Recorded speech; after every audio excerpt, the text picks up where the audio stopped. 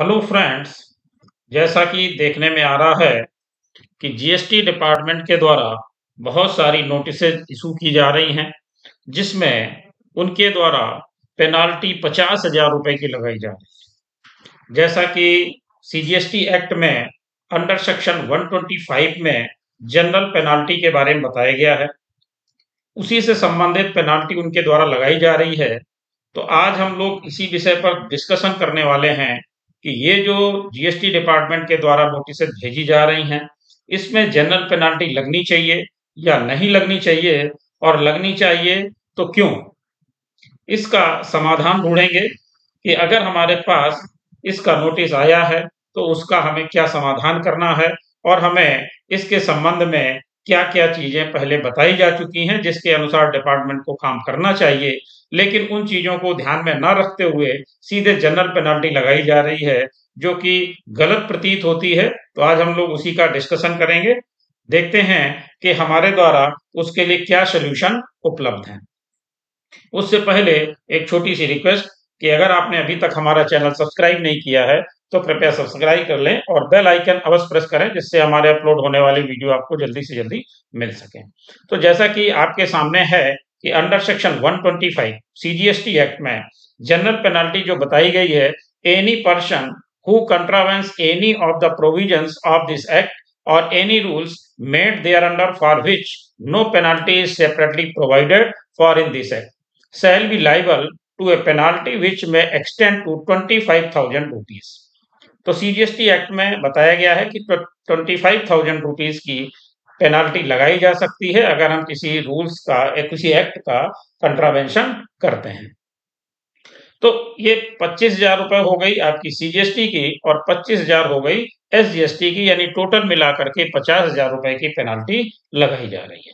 अब हम देखते हैं जो नोटिस आ रही हैं, ज़्यादातर वो नोटिस हैं आपकी नॉन फाइलर से संबंधित, जिन्होंने अपना जीएसटीआर थ्री बी टाइम से फ़ाइल नहीं किया है, उन लोगों को वो नोटिस आ रही हैं। तो जैसा कि आपको पहले भी बताया जा चुका है और मालूम भी है कि जब हम नॉन फाइलर्स में आते हैं, हमने जीएसटीआर थ्री भी अपना टाइम से फ़ाइल नहीं किया हुआ होता है, उसके लिए एक एसओपी जारी किया गया है, जिसमें ये सारी चीज़ें बताई गई हैं कि हमारे ऊपर किस तरह से इसको इम्प्लीमेंट करना चाहिए। तो आइए देखते हैं वो एसओपी को कि जिसमें ये पूरा प्रोसीजर बताया गया है। Operating procedure to be followed in case of non filers of returns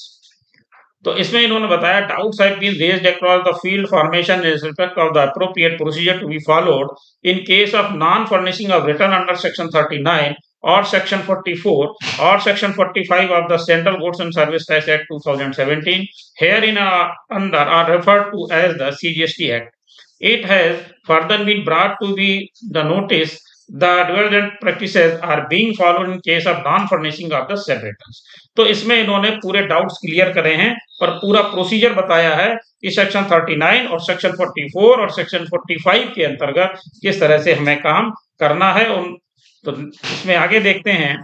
The matter has been examined in order to clarify the issue and to ensure uniformity in the implementation of the provision of the law across field formation. The board, in exercise of its powers confirmed by Section 168 subsection 1 of the CGST Act hereby issues the following clarification and guidelines. अब देखिए आपको clear cut यहाँ पर guidelines बताई गई हैं ये point three से आपको सारी चीज़ें क्लियर हो जाएँगी क्या है Section 46 of the CGST Act read with Rule 68 of the Central Goods and Service Tax Rules 2017 herein after referred to as the CGST rules requires issuance of a notice in form GSTR 3A यानी जो notice हमें issue की जाएगी, वो form GSTR three A में होगी to a registered person who fails to furnish return under section 39 और section 44 और section 45 here in after referred to as the defaulter, requiring him to furnish such return within 15 days. अब आपको यहाँ से इसको clear cut समझ लेना है कि section 46 of the CGST act read with rule 68 of the central goods and service tax rules 2017 यहाँ से इन्होंने पूरी चीज़ें क्लियर कर दी कि आपको सबसे पहले जो नोटिस इशू किया जाएगा वो फॉर्म जीएसटीआर थ्री ए में होगा और जो सेक्शन 39, सेक्शन 44 और सेक्शन 45 के अनुसार काम नहीं करेगा यानी रिटर्न फ़ाइल नहीं करेगा उसे कहा जाएगा डिफॉल्टर और उसको ये नोटिस यानी फॉर्म जीएसटीआर थ्री ए में जो नोटिस इशू होगा, वो मिलने के पंद्रह दिन के अंदर अपना रिटर्न फ़ाइल कर देना है। अगर वो पंद्रह दिन के अंदर अपना रिटर्न फ़ाइल कर देता है तो क्या होगा? Further section 62 provides for assessment of non filers of return of registered person who fails to furnish return under section section 39 और section 45 even after service of notice under section 46 form GSTR 3ए provides as under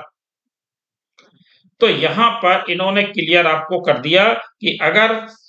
आपके पास GSTR three A में notice आ गया है तो आप पंद्रह दिन के अंदर अगर अपना रिटर्न फ़ाइल कर देते हैं तो आपको ये सुविधा मिल जाएगी। क्या? Notice to return defaulter under section 46 for not filing return तो ये तो हो गई आपकी नोटिस और नोटिस के बाद आपको ये सुविधा मिलने वाली है कि आप 15 दिन के अंदर फ़ाइल कर दीजिए being registered tax payer you are required to furnish return for the supplies made और receive and to discharge and tax liability for the aforesaid tax period by due date it has been notice that you have not file the set return till date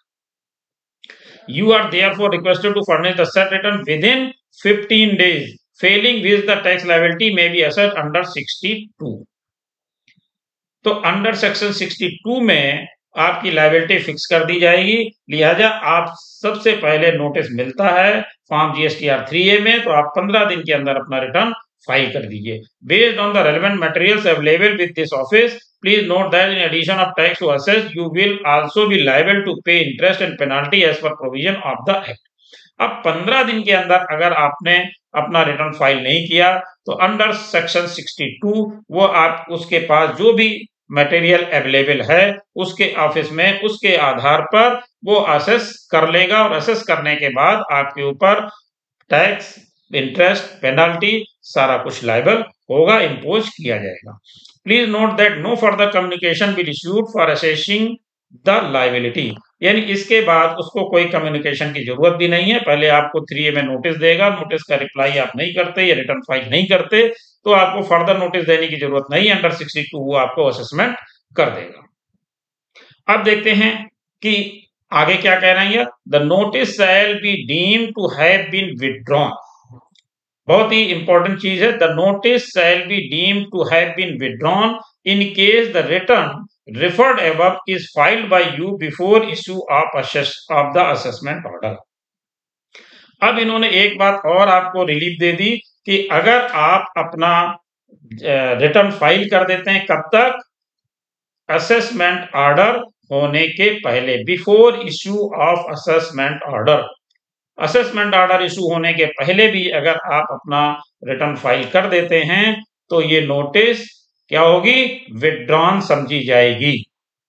यानी एक facility आपके पास ये भी है कि पंद्रह दिन नहीं तो असेसमेंट ऑर्डर के पहले तो ज़रूर ही कर लें। As no separate notice is required to be issued for best judgement assessment order section 62 and in case of failure to file return within 15 days of issuance of form GST R 3ए the best judgement assessment form ASMT 13 can be issued without any further communication तो यहाँ पर बार-बार ये कह रहे हैं कि आपको बार-बार नोटिस नहीं दी जाएगी। आपको जो नोटिस दी गई, उसके अनुसार आप अपना रिटर्न फ़ाइल कर दीजिए और आपकी नोटिस जो है वो विथड्रॉ हो जाएगी।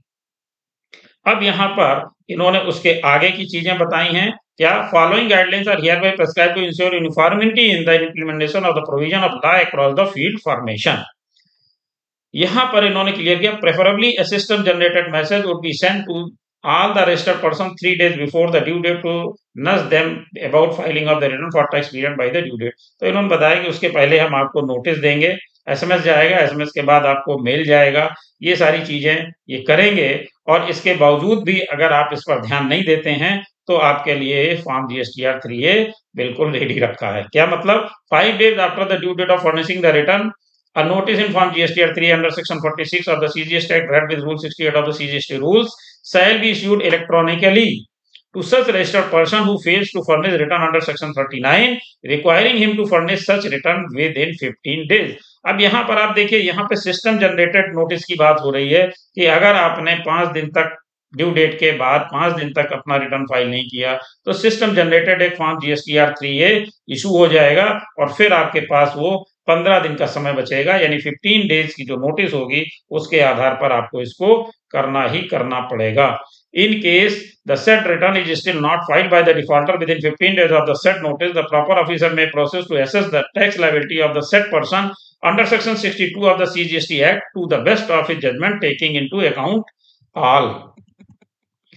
अब यहाँ पर फिर से वही चीज़ें इन्होंने रिपीट करी हैं कि वो हिसाब से वो करेंगे। The relevant material which is available और which he has gathered and would issue order under rule hundred of the CGST rules in form GST S M T thirteen the officer would then be required to upload the summary thereof in form GST D R C zero seven यानी वो form GST S S M T thirteen जारी करेगा, उसके बाद form GST DRC 07 में भी करेगा। तो ये आपके पास चीज़ें हैं। इसके साथ साथ आपको ये भी ध्यान में रखना है कि इसके आगे की कार्रवाई क्या है। For the purpose of assessment of tax liability under section 62 of the CGST act the proper officer may take into account the details of outward supplies available in the statement furnished under section 37 from GSTR 1 यानी अभी जो इन्होंने ऊपर बात कही थी कि जो हमारे पास मटेरियल अवेलेबल होगा या जो हमारी जानकारी में आएगा, जो चीज़ें ऑफ़िस में उपलब्ध होंगी उनके आधार पर। तो यहाँ पर इन्होंने क्लियर करा इसको कि सेक्शन 37 में जो आप फॉर्म जीएसटीआर वन फ़ाइल करते हैं, उसके आधार पर क्या है? Details of supplies auto populated in form GSTR two A और जीएसटीआर टू ए में जो इन्फॉर्मेशन आती है available from e way bills और any other information available from any other sources including from inspection under section seventy तो ये बता दिया कहाँ कहाँ से वो इंफॉर्मेशन कलेक्ट कर लेंगे। यानी आपका जीएसटी आर वन हो गया टू वे हो गया, और भी ई वे बिल हो गया, और भी जहाँ से भी मिल सकती है। In case the defaulter furnish a valid return within thirty days of the service of assessment order in form GST ASMT thirteen the said assessment order shall be deemed to have been withdrawn in terms of provision of subsection 2 of section 62 अब देखिए, एक relief वहाँ पर आपको दी गई पंद्रह दिन की उसके बाद ऑर्डर आने के पहले भी आपको रिलीफ हो गई। अब ये ऑर्डर आने की बाद की रिलीफ भी आपको दी जा रही है। इसको बहुत ध्यान से आपको देखने की ज़रूरत है कि ये क्या कह रहे हैं कि अगर आपने एक वैलिड रिटर्न तीस दिन के अंदर दाखिल कर दिया कब से? In case the defaulter furnishes a valid return within thirteen thirty days of the of the service of assessment order in form GST SMP 13, the said assessment order shall be deemed to have been withdrawn in terms of provision of subsection 2 of section 62 of the CGST Act. However, if the said return remains unfurnished within the statutory period of 30 days from issuance of order in form ASMT 13, then proper officer may initiate proceeding under section 78 and recovery under section 79 of the CGST Act. तो यहाँ पर उन्होंने फिर आपको relief दिया कि अगर आपको एस एम टी थर्टीन जारी हो जाता है, उसके तीस दिन के अंदर भी आप अपना रिटर्न फ़ाइल कर देते हैं तो भी आपको ये रिलीफ मिल जाएगा कि आपके, फिर कौन सी आपके ऊपर कार्रवाई रह जाएगी? If the said return remains unfurnished within the period of thirty days अगर थर्टी डेज़ के अंदर एस एम थर्टीन के बाद भी नहीं करते हैं तो फिर आपको प्रॉब्लम हो जाएगी। सेक्शन सेवेंटी एट और सेक्शन सेवेंटी नाइन के आधार पर वो प्रोसीडिंग्स को इनिशिएट कर देगा। तो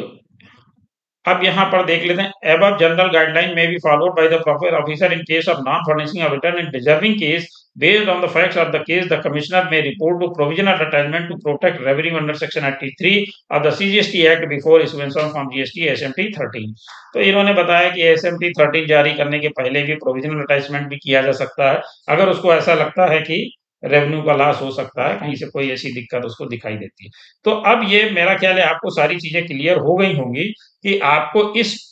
को ध्यान में रख करके चलना है, यानी कि आपको इस एसओपी को ध्यान में रखना है और इसी के आधार पर मेरी गुजारिश है कि डिपार्टमेंट को भी इसको पालन करते हुए ही नोटिस जारी करनी चाहिए, अनावश्यक रूप से पेनाल्टी नहीं लगानी चाहिए, इसी प्रोसीडिंग्स को फॉलो करना चाहिए और हमें भी इसी प्रोसीडिंग्स को फॉलो करना चाहिए और इसी के आधार पर अपना रिप्लाई सबमिट करते रहना चाहिए। इस जो समय इसमें दिया गया, उसको ज़रूर से ज़रूर हमें ध्यान में रखना चाहिए, जिससे हम इसका लाभ ले सकें। धन्यवाद।